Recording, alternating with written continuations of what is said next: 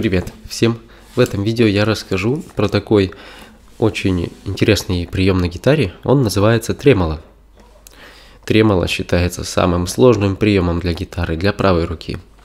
Но при этом он удивительно прост. И выучить его можно за один раз. Самое главное это репетировать. Итак, самое главное это правая рука, потому что прием играется в правой руке.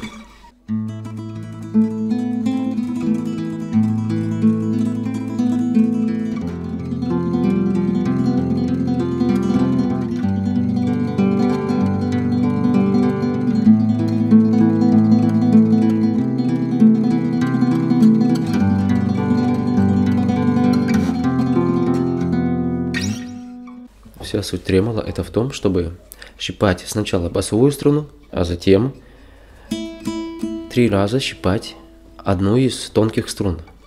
Например, я сначала щипаю шестую струну, затем щипаю первую струну три раза, третьим пальцем, вторым и первым. Потом повторяю, снова шестая, и опять третий, второй, первый. Вся суть тремола в том, чтобы оно было максимально плавным и непрерывным.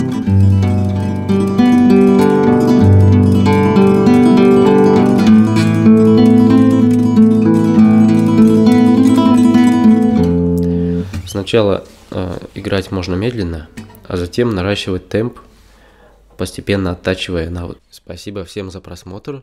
Обязательно подписывайтесь и до новых встреч. Пишите комментарии о том, какие видеоуроки вы хотели бы видеть в будущем. Мне очень приятно отвечать на них. Все, выключай, понятно.